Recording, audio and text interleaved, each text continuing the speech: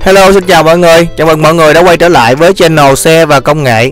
Ngày hôm nay mình sẽ review cái chiếc xe Kia Optima 2020 hay còn gọi là Kia K5 tại thị trường Hàn Quốc. Thì phiên bản này đã vừa ra mắt ở Hàn Quốc rồi và dự kiến sẽ được bán ra vào tháng 12 năm nay. Còn ở Việt Nam thì không biết khi nào Trường Hải sẽ nhập phiên bản này về để bán nhưng mà mình nghĩ là Trường Hải sẽ lắp ráp và tệ nhất phải là năm 2021 phiên bản này mới được lắp ráp tại Việt Nam.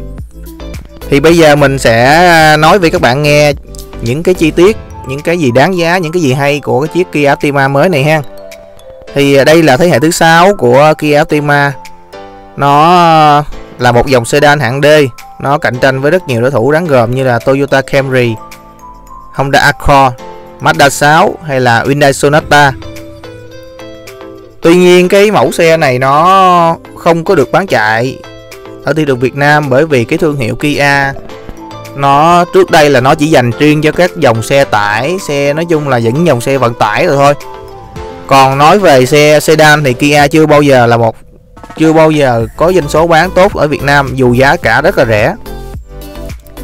Thì về thiết kế thì bạn có thể thấy là về phần đầu xe đó, cái à, lưới tản nhiệt hình mũi hổ đặc trưng hôm nay đã được thiết kế lại, tinh chỉnh lại rất là hay, rất là đẹp.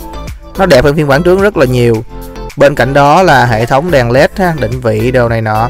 Nó có đèn à, à, đèn led mà ban ngày á, hình chữ chữ V, cách điệu rất là hay. Tiếp theo về kiểu dáng thì xe này có kiểu dáng là fastback. Cái ngôn ngữ fastback này nó có ở xe Audi A7 Porsche Panamera. Và gần đây nhất, như trên chiếc xe Hyundai Sonata 2016 mà mình đã review cho các bạn xem. Thì cái thiết kế này như thế nào? Thiết kế này tức là cái mui xe nó không có cụp xuống, nó không có ngắn như là những cái xe sedan khác, mà nó sẽ kéo dài ra tận phía cốp xe cốp xe phía sau. Đó, nó thiết kế như vậy làm cho cái xe mình cảm thấy dài ra, rộng ra và cái xe mình nó sang hơn rất là nhiều luôn. Cái cốp xe nó sẽ ngắn lại. Tuy nhiên phía trong cái cốp nó không hề nhỏ đi. Nó chỉ là ở phía trên đó, nó bị ngắn lại thôi. Đó. Xe này thì à, đèn sau là đèn led. Nó có một cái dãy đèn led ngang. Từ trái qua phải như Audi A7 rất là đẹp luôn. Những cái xe đời mới thì nó sẽ trang bị những cái đèn như thế này. Cứ ra đường bạn sẽ thấy. Cái đèn xe nào mà có cái đèn từ trái qua phải là bạn cứ auto cho mình là đời 2017 18 19 là nó đã nó sẽ có về ống xả thì với phiên bản 2.4 GTR á, thì nó sẽ có là hai ống xả kép. Đối xứng mo luôn còn phiên bản ờ, 2.0 NU thì nó sẽ là thường nó sẽ có cái một bên ống xả thôi. Dàn chân của Kia Optima thì nó có rất nhiều sự lựa chọn từ 16 đến 19 inch cùng với ờ, nhiều thiết kế và kiểu sơn khác nhau.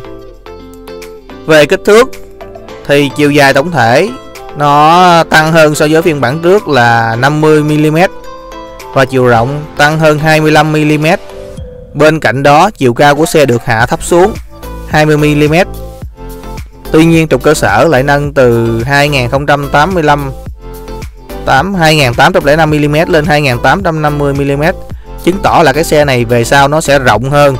Đó, nhưng mà nó thấp lại.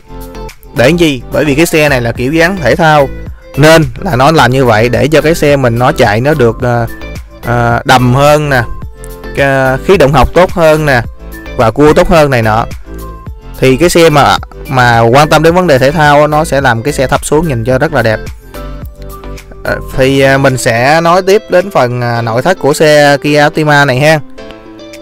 Thì nó nó trang bị tiếp theo là nó trang bị rất là nhiều option luôn cái màn hình đồng hồ kỹ thuật số bạn có để để ý thấy. 13 12,3 inch giống như trên mạc E250 hay là 200 của Mercedes á. Nó có một cái màn hình tắp lô từ bên trái qua bên phải rất là dài. Nó nó làm cho cái xe mình dài hơn nè bị ngang nó rộng hơn nè sang trọng nữa. Tuy nhiên cái cái điểm đáng chê của xe Kia Optima này các bạn biết là gì không? Là cái vô lăng. Cái vô lăng này thì muôn đời luôn từ ba thế hệ trước đến thế hệ này cái vô lăng của Kia vẫn làm rất là xấu. Mình không hiểu tại sao. Hãy nhìn qua chiếc Hyundai Sonata người ta làm đẹp bao nhiêu. Thì Kia lúc nào cũng làm cái vô lăng xấu. Không chịu trao chuốt cho vô lăng. Tiếp theo là dàn à, nội thất da của à, Kia Optima nó vẫn làm rất nhìn rất là lô rất là lủng củng rất là hở hang. Nó không có khích nè nó không có cái độ mịn của da nó nói chung là nhựa của nó cũng rất là tệ. Các bạn mua xe Kia Optima thì các bạn phải chịu thiệt thòi về những cái thiết kế này. Bởi vì nó quá rẻ mà, khi Trường Hải lắp ráp về Việt Nam thì nó sẽ quá rẻ. Bởi vì những cái thiết kế trong đó rất là xấu, rất là dở. Tuy nhiên, thì các công nghệ hiện đại thì mình không biết là Trường Hải có cắt hay không. Nhưng mà xe này nếu mà bên Hàn Quốc thì nó sẽ có rất là nhiều cái công nghệ hiện đại như là camera 360 độ này ha rồi à, màn hình HUD nè H kính nè. Đó. Cái chức năng an những có những chức năng an toàn giống như là phanh khẩn cấp chống va chạm trước nè chống à, va chạm phía sau nè hỗ trợ giữ làn nè cảnh báo chệch làn cruise control thông minh dựa trên bản đồ định vị. À, cảnh báo mở xe không ăn mở cửa xe không an toàn nè cảnh báo uh, toàn cảnh 360 độ cảnh báo điểm mù nè cảnh báo mất tập trung người lái nè. Số lượng túi khí thì nó là chín túi khí nha các bạn xe thì được trang bị là ghế da nội thất màu đen. Đối với phiên bản 2.0 thường. Còn phiên bản 2.4 thì là màu đỏ. Xe có tới 4 tùy chọn động cơ tại Hàn Quốc. Là đầu tiên là 2.0 L thường. À, tiếp theo là 1.6 xăng tăng áp nha. Tiếp theo nữa là LBI 2.0 và tiếp theo nữa là Hybrid 2.0 công suất lần lượt của các phiên bản này là 160 mã lực nè so với bản 2.0 thường rồi 180 mã lực so với bản 1.6 à, tăng áp. Rồi à, phiên bản LBI 2.2.0 là 146 mã lực. Thì à, rồi cái phiên bản à, hybrid á, thì 152 mã lực. Đó thì nó có rất nhiều cái phiên bản. Riêng cái phiên bản hybrid cuối á, có thêm trần xe gắn pin năng lượng mặt trời luôn giúp cho xe sạc lại ác quy. Cái phiên bản này nó rất là hay. Thì thường những cái xe này là đều có cửa sổ trời toàn cảnh panorama nha các bạn. Kia Optima và Hyundai Sonata là dùng chung máy chung khung gầm. Nói chung là nói chung nhiều thứ lắm. Về cái giá thì giá khởi điểm của Kia Optima tại Hàn Quốc là khoảng 460 triệu khá là rẻ so với thị trường Việt Nam. Thì mình hy vọng là Trường Hải sau khi đem về Việt Nam lắp ráp thì đừng có cắt bớt nhiều cái uh, option trang bị của cái xe quá. Bởi vì uh, Kia thì nó, ở Việt Nam thì nó bán rất là chậm rồi, mà option thì lại bị cắt. Thì không thể nào có thể bán lại, không, đừng có nói chuyện để bán lại với cô Toyota Camry hay là Mazda 6 hay là Hyundai Sonata, mà nó có thể bán được, nó có thể giữ được doanh thu cho hãng. Đó là cái điều cần thiết. Chứ chưa nghĩ đến là vấn đề là cạnh tranh. Bởi vì nếu mà xe các bạn không có option để đấu lại những đối thủ khác thì coi như vứt. Đó, bằng chứng bằng chứng là cái phiên bản vừa rồi, option bị cắt ở phía trong rất là nhiều luôn. Nên thành ra là không có đấu lại những cái hãng khác. Xe Kia Optima này thì nó, ngoại hình thì nó khá là đẹp đó. Nó rộng rãi, nó rất là bự. Cái cái form của xe này rất là bự luôn. Nó giống như Hyundai Sonata vậy đó. nó bự hơn Camry, nó dài hơn Camry. Nhưng mà về thương hiệu nè.